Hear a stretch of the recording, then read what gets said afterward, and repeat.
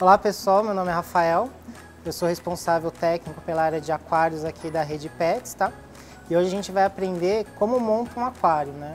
Muitas pessoas ainda têm uma visão errônea do aquário, que é algo muito difícil, algo complexo de ser feito, né? A gente inicia a montagem do aquário escolhendo o tipo de peixe que vai no aquário. Por quê? Hoje em dia tem alguns materiais que a gente utiliza na montagem do aquário que interferem na condição química da água, tá?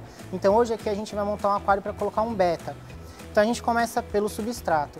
Aqui a gente fez opção por uma areia, tá? Essa areia é bacana porque ela é um material bem fino e ela não precisa ser lavada. Você pode pegar e utilizar ela direto da embalagem no aquário. Uma dica bacana para aquários menores, o interessante é usar cascalhos mais finos. Então o primeiro passo é colocar o cascalho no aquário. Vamos lá? Então, na verdade, a gente espalha o cascalho no fundo do aquário, tampa todo o fundo. A gente não precisa deixar o cascalho homogêneo no fundo do aquário. Isso dá até uma visão melhor para o aquário, ele fica esteticamente melhor, tá? E agora a gente vai colocar os itens de ornamentação que vão enfeitar o aquário, tá? Então a gente vai usar esse tronco, na verdade esse tronco é um material feito em resina, ele é uma resina tóxica específica para aquário e também é um material neutro, ele não, não influencia no pH da água, que isso é bem importante nessa montagem, tá? Ah, outro item que a gente vai usar é essa rocha. Essa aqui já é uma rocha natural.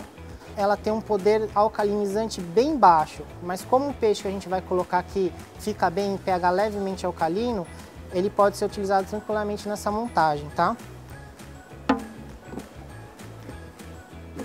E além dessa pele e desse tronco, a gente vai usar algumas plantas artificiais, tá bem? Eu peguei plantas de dois tamanhos. Eu peguei essas plantas mais baixas e essas plantas mais altas. É sempre bacana você usar as plantas altas no fundo do aquário e as plantas mais baixas na frente, tá? E aí elas vêm com essa base que ela é utilizada para fixar a planta no aquário. O bacana é você cobrir essa base com, a, com o cascalho para ficar com um ar mais natural o aquário.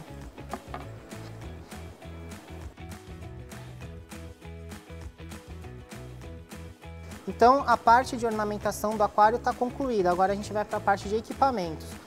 Então esse aqui é o filtro Rengon que a gente vai utilizar nesse aquário.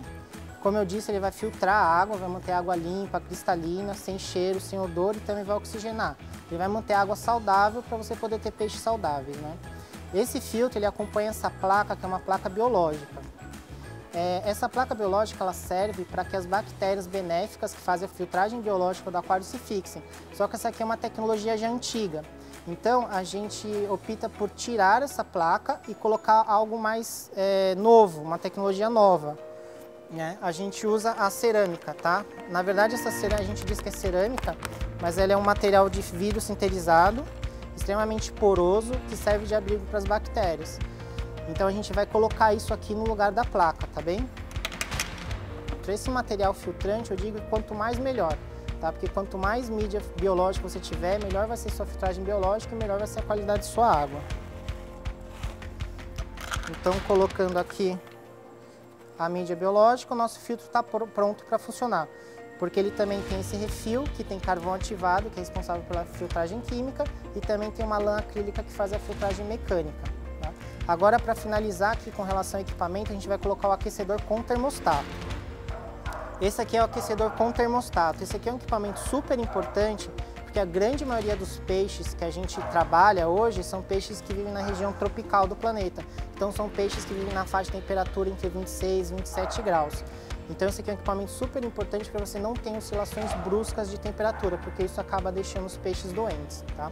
Então o termostato, você regula aqui a temperatura, vou deixar aqui em torno de 27 graus, ele acompanha ventosas que você prende na lateral do aquário.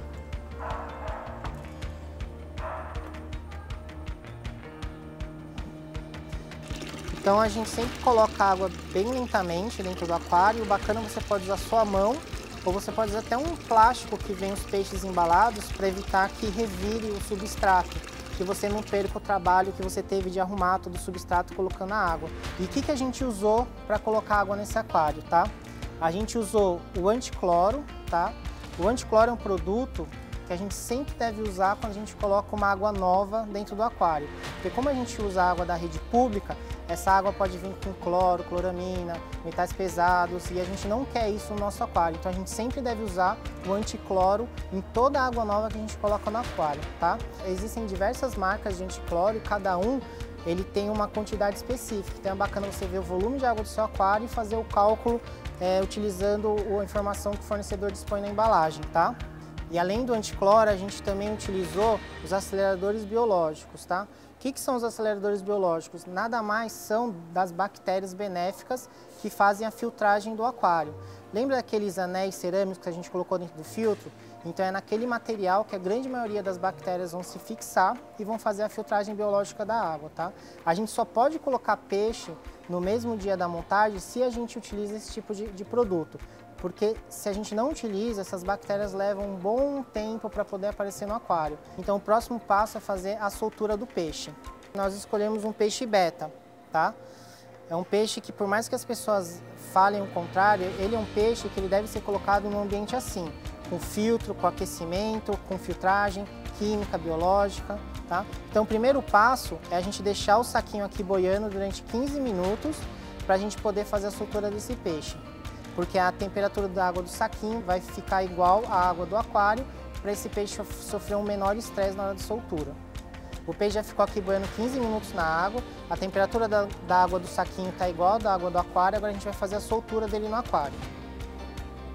Então agora a gente vai soltar ele bem delicadamente na água.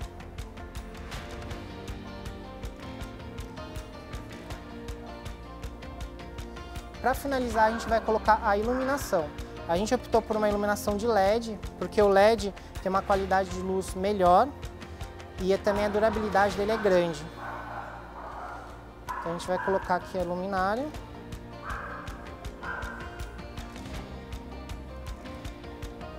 Acender. E a gente não pode esquecer que não pode passar de 12 horas com a luz acesa. É importante isso para o peixe.